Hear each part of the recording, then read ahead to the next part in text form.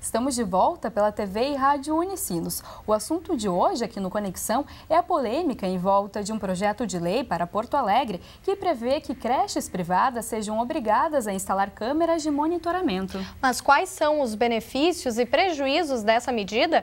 Os nossos entrevistados aqui no estúdio nos ajudam a entender melhor esse assunto. Bom, professora, a gente queria começar esse bloco, então, falando um pouco sobre os benefícios né, do monitoramento. Quais seriam? Dá mais tranquilidade realmente para os pais?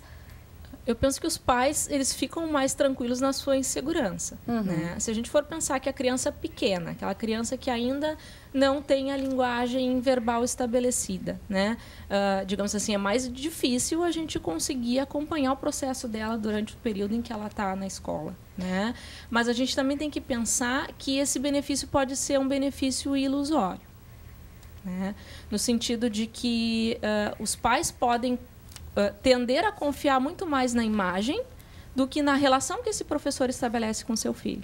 E daqui a né? pouco que os pais estão vendo através das imagens, né, não é, não condiz com o comportamento daquela criança fora do alcance das câmeras. Né? Exatamente, né? às vezes uh, pode confundir alguma situação, né, achar uhum. que uma situação é ruim, mas pode fazer parte do desenvolvimento daquela criança. Exatamente, professora. se a gente for pensar, por exemplo, uma criança pequena, né, Sim. é inevitável que ela quando chega próximo de outra criança vai utilizar o corpo para uma interação né? Uhum. Então, bom, vai chegar uma hora em que uh, vai dar uma beliscada, vai puxar um cabelo, né? Isso faz parte do desenvolvimento infantil. Obviamente, o adulto que está junto não vai deixar a criança uh, machucar no sentido Sim. de uh, perpe perpetrar que, aquele tipo de uh, interação sem fazer uma mediação. Ou espera-se que o professor faça isso. Né?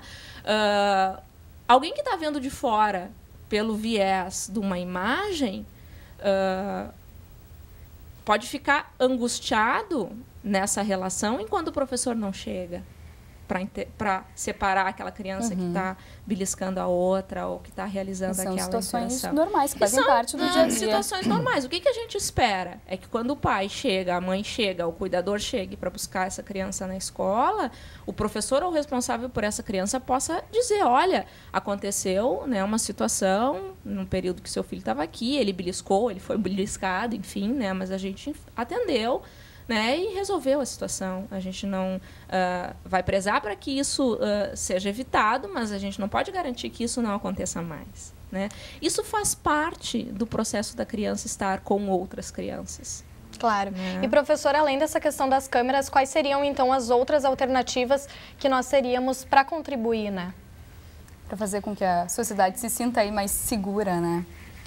É, eu acho que uma preocupação é essa com relação à segurança, que é a preocupação com respeito à violência contra a criança, mas ah, pelo visto a, a, as preocupações se estendem, né?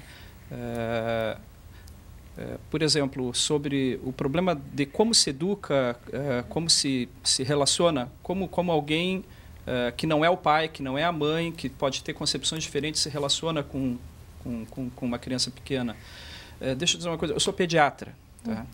E, e eu diria o seguinte: é, toda mãe é, é tensa e, e, se assusta com o fato de deixar seus filhos sendo cuidados por outras pessoas. E, de um modo geral, é, existe uma fase na vida da criança em que eu mesmo é, digo para a mãe que é, a escola infantil ela, ela é necessária numa determinada fase, é, que é uma fase em que a criança está maior, né? Pediatras, por exemplo, contraindicam creche. Tá? A creche é uhum. é prejudicial para a criança, desculpem, talvez alguém possa achar que não. Creche é prejudicial para a criança, tá? do ponto de vista médico. Tá? As crianças adoecem 5, 6, 10 vezes mais em contato com outras crianças em creche.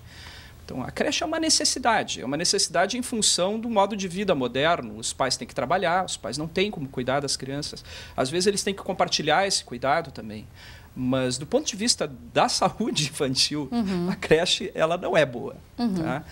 É, então, assim, uma mãe quando deixa uma criança na creche, ela fica muito tensa. Aquela é uma situação de tensão para ela no momento do trabalho, é, é uma situação é, que ela trans, transfere é, nas relações com o pai e com as outras pessoas. Então, eu tendo a achar que uma situação como essa das câmeras pode ajudar e não prejudicar. Embora eu acho que vai ter um período grande de adaptação. Né? O período grande de adaptação é o, é o, período de adaptação que todos nós temos que ter quando a gente começa a viver com espaços públicos mais monitorados.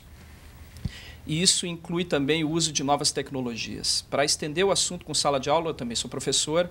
Uhum. Pegue o caso, por exemplo, de uma sala de aula em que os alunos têm contato com uh, celular, contato com outras formas de informação, gravam a aula dos professores. Muitos professores não gostam disso tá? e se sentem constrangidos por isso.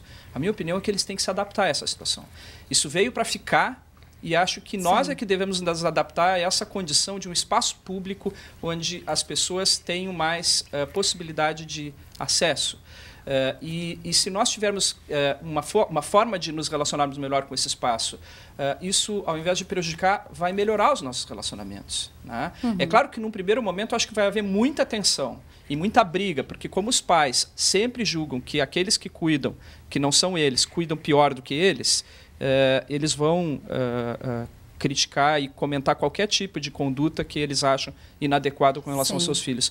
É, por isso, acho que a área da pedagogia, a área da psicologia vai ter que estudar o assunto para poder uhum. conseguir adaptar essa nova realidade aos métodos uh, pedagógicos com tá, as crianças. Tá certo, nosso tempo está um pouquinho curtinho, mas a gente gostaria também de ouvir a opinião da professora né, sobre essa iniciativa.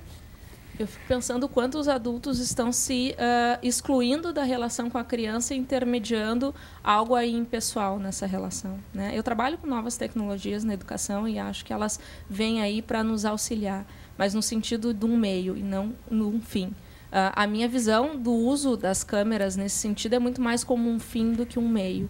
E o meu receio é que esse tipo de controle vai uh, estourar, entre aspas, lá na frente. Né? Uhum. Né? Uma criança que cresce controlada e que não pode manifestar um comportamento porque ela está sendo controlada, o que, que vai acontecer se ela não tiver esse controle externo?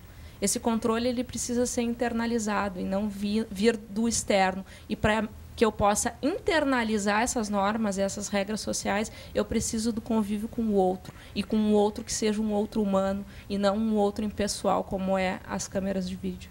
Tá certo, então resta aguardar, né? Porque em fevereiro que vai ser votado, né, esse uhum. projeto. Vamos ver o que vai acontecer. Informações então sobre violência e maus tratos contra crianças podem ser repassadas para o Departamento Estadual da Criança e do Adolescente pelo telefone 0800 64 26 400 ou para o 181 da Secretaria de Segurança Pública. Lembrando que não é necessário se identificar. É importante anotar esses números aí. Bom, a gente gostaria de agradecer a presença de vocês aqui no programa e as informações. Muito obrigada. Obrigado. Até a próxima. No próximo bloco, tem a previsão do tempo para o início de semana em todo o estado. E você confere ainda uma entrevista com o reitor da Unicinos, padre Marcelo Fernandes de Aquino. Ele faz um balanço do trabalho já feito na universidade e fala sobre as expectativas de mais quatro anos de gestão. É isso aí, não sai daí, nós já voltamos.